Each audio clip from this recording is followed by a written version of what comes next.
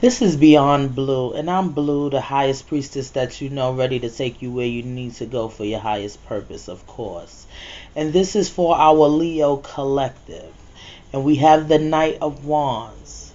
Now, the Knight of Wands for my Leos, you know, that fiery energy is coming in. I feel like your energy is revving up. So it seems like you you have a passion towards something.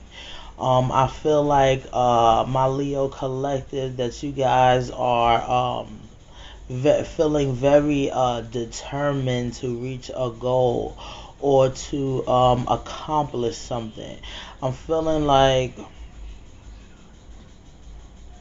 there will be some messages coming in about what you are passionate about.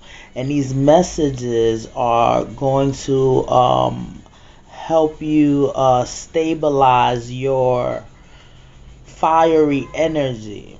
So, um, you might get some news that might temper you a little bit. It might cause you to pull back.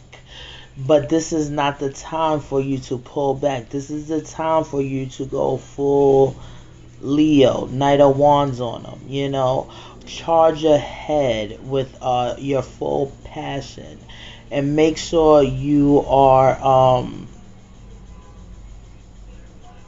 approaching things with a business mindset.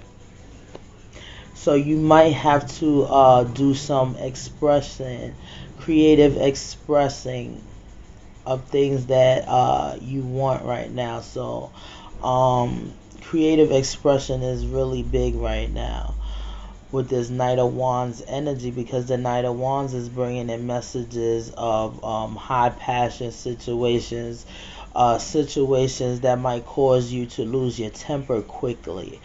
Um, it might also be situations where you're just uh, passionate about. So be mindful of your temperament as well because your temperament uh, can cause you to. Um, lose the the cargo as you driving off. Like you might be trying to ride off too fast and you might be uh, losing some things. So you you're gonna want to learn how to temper your energy and temper your temperament so you're not flying off the handle.